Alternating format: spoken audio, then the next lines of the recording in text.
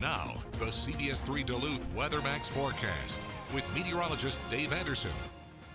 Well, the warm front's approaching our region, and wouldn't you know it, today temperatures went up, starting from the south, working towards the north. So a quick look at our high temperatures here shows that uh, only 78 International Falls, 79 Hibbing, but Hermantown made it to 84. Superior got 85 degrees, and even towards Ironwood, 82 there as well, 83 in Hayward.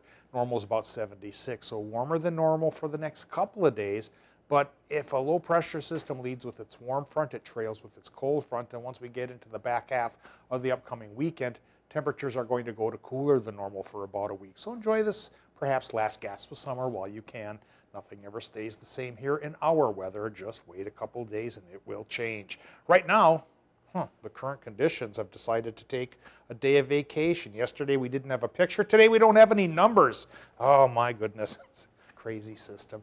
Well, hopefully by 6 o'clock, those numbers for the current conditions come back again. Current temperatures are here, and we're looking at 80 in Watersmeet, 81 Ironwood, 83 Ashland, low 80s also towards Hayward, and low 80s still in Superior, still holding on to 84 up towards Hermantown, 81 degrees in Moose Lake, and even on the north shore closer to the lake, looking at low 80s there as well. Up the Gunflint for a change is cooler than down by the bay by the lake. So uh, every now and then turnabout can be fair play. And like we mentioned, getting farther into Minnesota, it's a little bit cooler. We have 77 Ely, 79 towards Hibbing and Chisholm, Side Lake.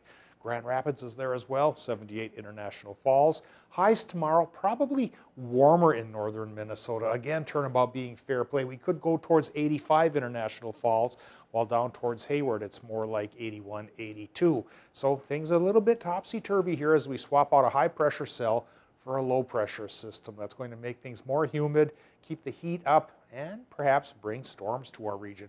Right now, we've got clouds from that warm front trying to infiltrate the region, but in general, higher pressure is keeping us high and dry for the time being. To the, tomorrow, though, things are going to change as the high pressure system begins to slip away as the day goes on leading to the approach of the low pressure system from the west, which could be with us as early as Wednesday night in through Thursday. 20% chance for rain Wednesday night around this time.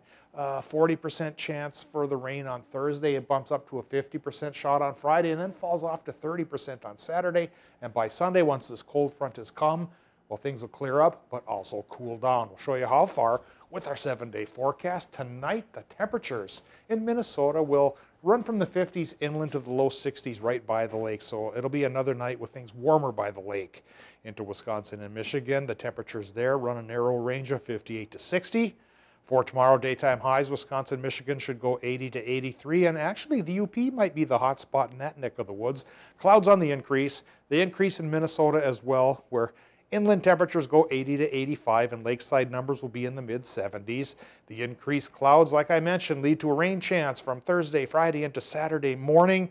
Some of the storms on Friday could become severe because it's going to become very humid again. Humidity is great fuel to provide lift to keep firing up storms.